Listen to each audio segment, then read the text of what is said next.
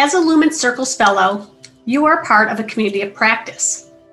Communities of practice are formed by people who engage in a process of collective learning and a shared experience. It's a tribe of people who share a concern or a passion for something they do and learn how to do it better as they interact regularly. That's the essence of the Lumen Circles experience. In your community of practice, you will give and receive feedback on teaching practices, provide support and encouragement to your peers, and engage in idea generation and brainstorming.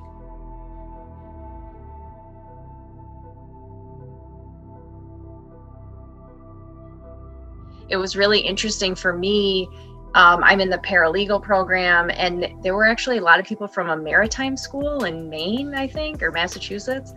Um, but it was interesting that we had the same issues like different schools, different students, different types of um, programs, but we had the same issues. And so it was like really nice to be able to just communicate with people and just think like, oh, it's not just me.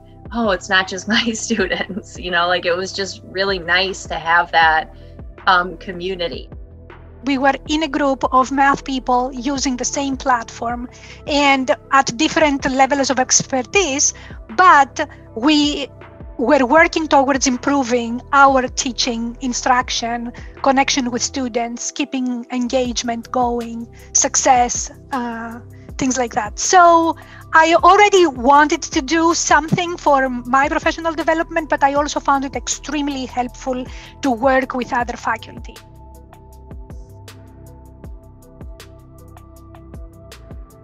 As you and your peers post reflections and plans, you will offer each other insights, feedback, and support using an appreciative inquiry approach, which focuses on raising questions for deeper inquiry.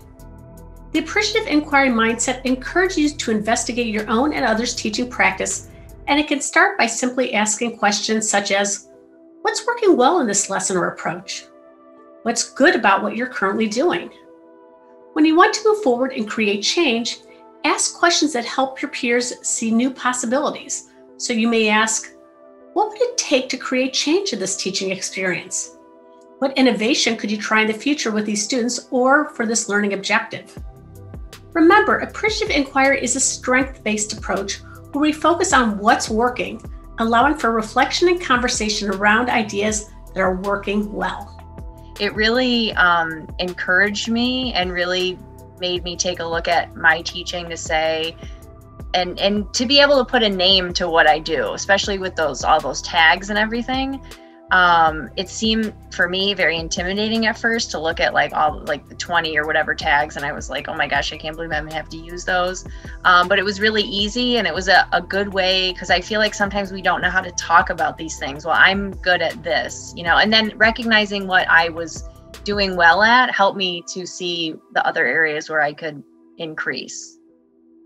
I was always looking for positive moments for for each faculty member and saying, "Wow, this is fascinating," and and to the point where it's like I want to be in that person's classroom. I'm in the biological sciences, and with switching to remote learning this semester, we had a massive problem with lab classes. Um, because doing a lab virtually is very challenging. So, for me personally, I was teaching um, a lab and it's what I wrote about a lot during uh, my circle fellowship. Getting feedback from other faculty, especially my circle seemed to have a lot of people in STEM fields about sort of different techniques that they were using to make labs as authentic experiences as possible um, from sending students home with take home kits to virtual resources um, different oer resources was really helpful and it honestly completely changed how my course went this semester. It went way better than i was expecting um, you know beyond my expectations.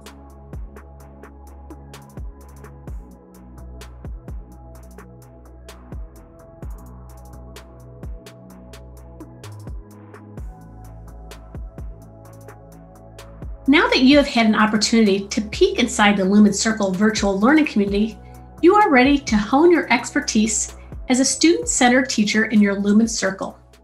Good luck.